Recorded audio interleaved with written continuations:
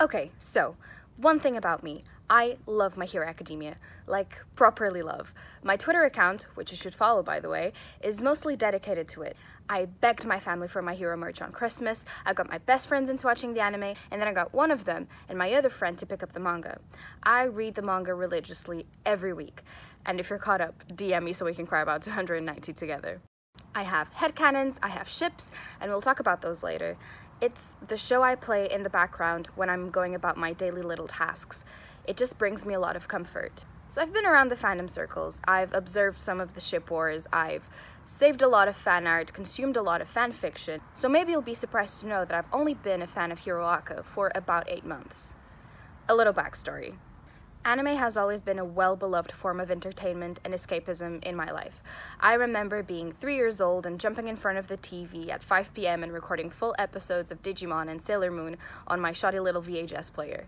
I even forced my mother to make me a whole Sailor Moon costume from scratch for Carnival when I was four. I got serious, as serious as you can get about silly cartoons about it at age 11 up until I was 14. I went to conventions, I dreamed about cosplaying one day, and then I just fell from it. But then, shock horror, in January of this year, I went through a bad breakup, like traumatic character building stuff.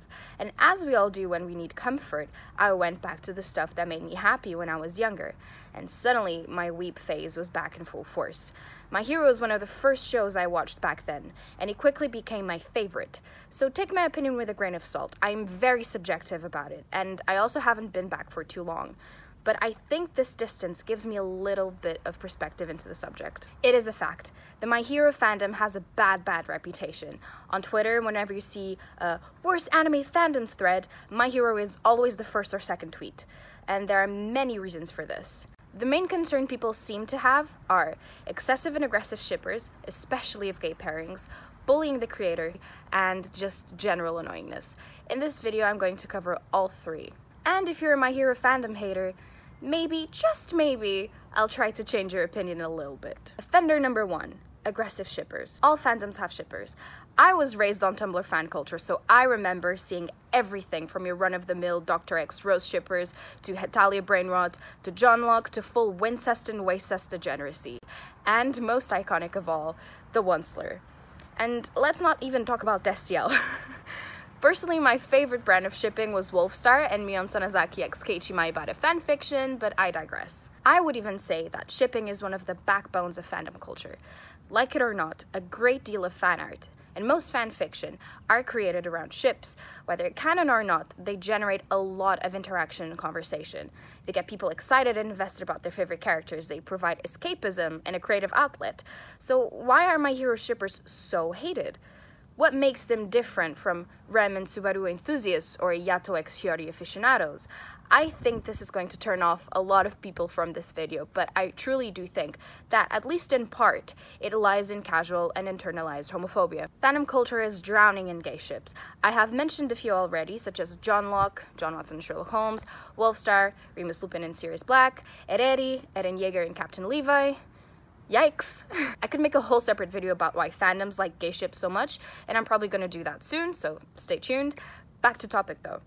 My Hero Academia is no stranger to that, but they're not the only ones at all. And I would even say that in terms of the sheer amount of gay ships, they're not even in the top three. Let's take a look at the Haikyuu fandom for a bit.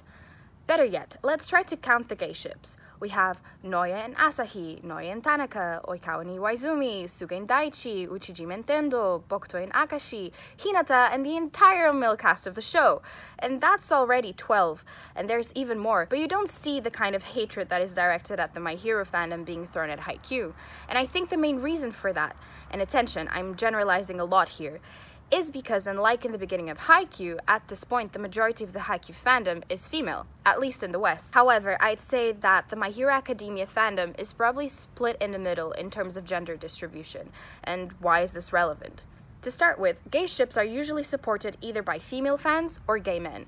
It makes sense. You have a ship because you like their dynamic, but many times also because you are probably attracted to one or even both characters. So if you're the majority in the community, the fans of the show are not likely to turn against you. They're just like you after all.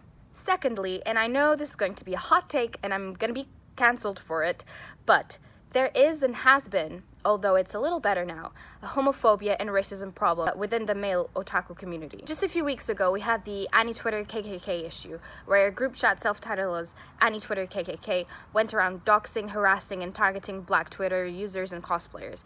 It got so bad that a lot of people were forced to deactivate or go private. I leave a link for Otaku Kelsea's video about homophobia in the anime community. She's a wonderful creator and super nice, so please make sure to drop by her channel and give her some love.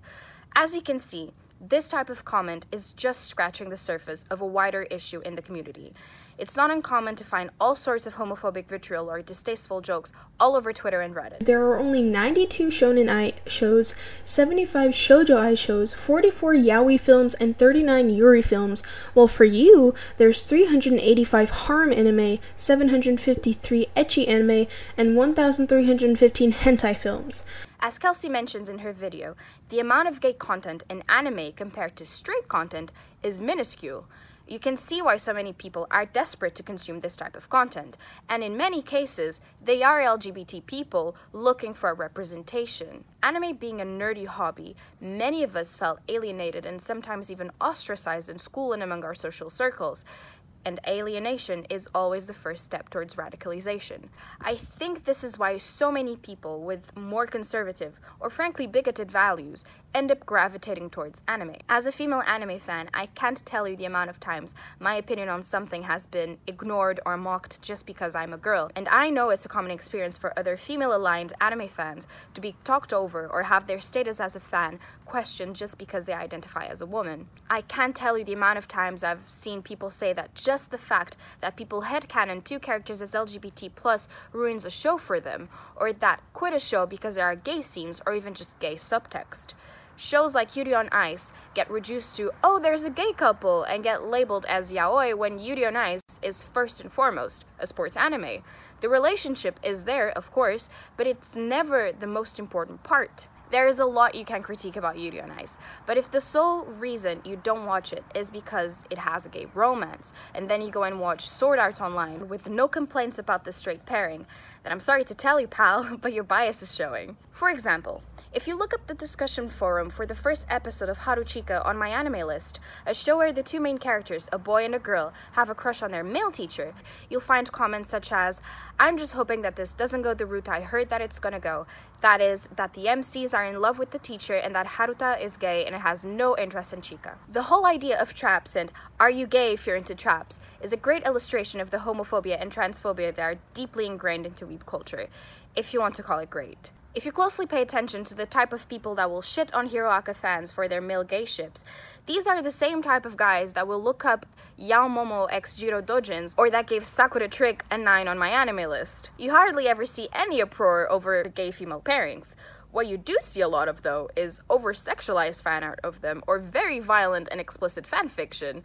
But you hardly ever see anyone complaining about this, and if you do, they're shut down pretty quickly. And I'm not saying that consuming this type of fan art or fan fiction is wrong. I'm just saying that the double standard is clearly present in this situation. Homophobic men in the My Hero fandom feel threatened by the gay shippers because it bothers them to see their favorite male characters represented in a way that is offensive to them and their worldview. And I'm not trying to pull an all men are trash move, I very much disagree with that. However, it is an objective fact that within the homophobic weeb population, the majority are men.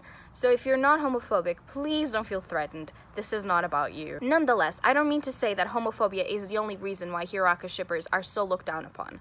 I have experienced some pretty toxic shippers myself. Specifically, I've seen absurd ship wars between Kiribakus and Bakudekus. So that's people who ship Kirishima from My Hero Academia with Bakugo from My Hero Academia, and then Midoriya from My Hero Academia, and Bakugo from My Hero Academia.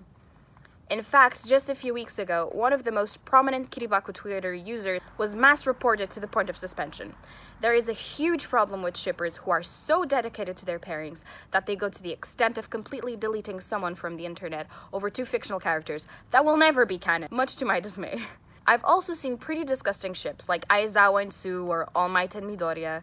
However, these are definitely a minority, and these things happen in virtually every single fandom with a moderate to large following. And I think it's safe to say that at the moment, My Hero Academia is currently the modern shonen with the biggest active fan base, excluding shows like One Piece. With a fandom as large as the My Hero fandom, you're just bound to find it more often. Offender numero dos bullying Horikoshi over ships. Debunked. So there is a rumor running around that some shippers had sent Horikoshi death threats over him not canonizing their favorite ships.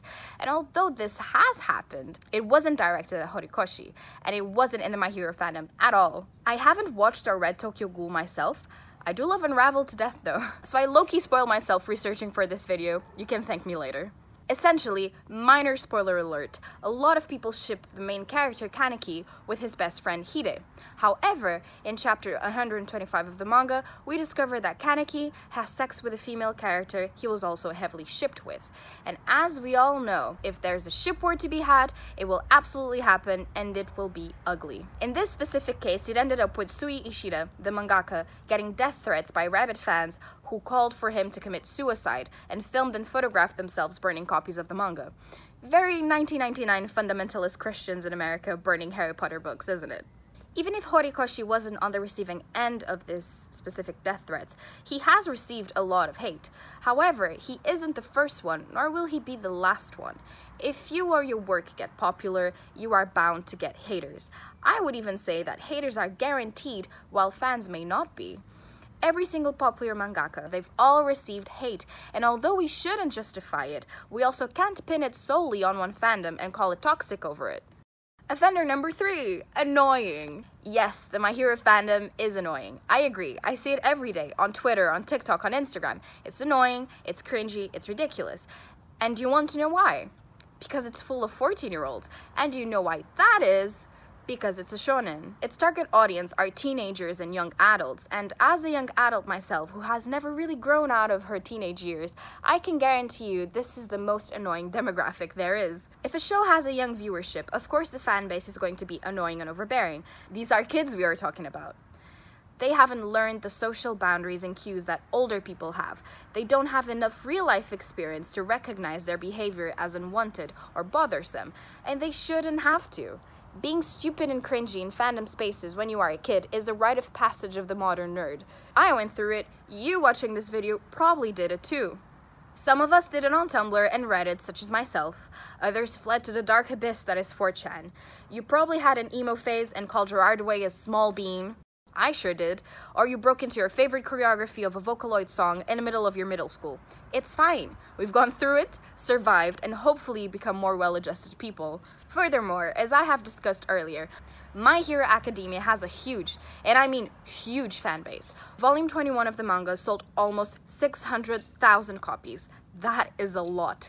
And it's easy to assume that for every manga reader, there are probably two anime only, so you do the math on that. God knows I can't. I'm a literature BA, if you couldn't tell. In conclusion, just let the kids have fun. And also, I think it's safe to assume that it's not just the My Hero Academia fandom that is toxic, but the anime fandom in general is pretty toxic. And so we have reached the end of this modest exploration of the quote unquote alleged toxicity of the My Hero fandom. I honestly don't know how long this ended up being, but my script had almost 3,000 words, so mm, that's more effort than I put into my uni essays. So I'm sorry for how much I ramble, I'm just really interested in this topic. All my social media will be linked down below, as well as the resources I used for this video. I am very active on Twitter and MAL, and I do go on Instagram quite a bit, so be sure to check them out. You can follow me on Twitter at UndeadTouya, Instagram at UndeadTilda, TikTok at UndeadTilda, and my animalist at, you guessed it, UndeadTilda. Also, please don't take my word as gospel. I'm not a scholar in this subject by any means. I'm just interested in it, and these were my opinions. If you have different opinions, please write them down in the comments. I am so curious to know what you think. I'm also sorry for how low quality this ended up being. I'm literally filming this on my phone, propped up in a pile of books, in the backyard, editing on cracked software and writing in between online lessons. Hopefully, if I continue doing videos, they'll get a little better. Please feel free to continue the discussion in the comments and give me all the feedback I can possibly get. I really want to improve. Also, if you have any video suggestions or recommendations, please leave them in the comments below. Many thanks to Otaku Kelsea for letting me use her video, and a special thanks to my best friends for proofreading my script, getting me some editing software in my hands, and just putting up with my deranged weeb ramblings. I'll hopefully be back soon with a video about the history of gay ships in anime and media in general. And I'm also planning to do a review of the first 100 chapters of One Piece, since I'm reading that for the first time with no spoilers. And so the question I leave with you today is Did I change your mind about the My Hero fandom? Let me know in the comments. Bye bye! Okay, so